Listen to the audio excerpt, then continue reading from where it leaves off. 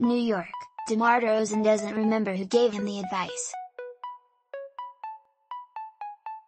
With his nonconformist ways, DeRozan still dumped in a game-high 34 points, including 18 in the decisive fourth quarter.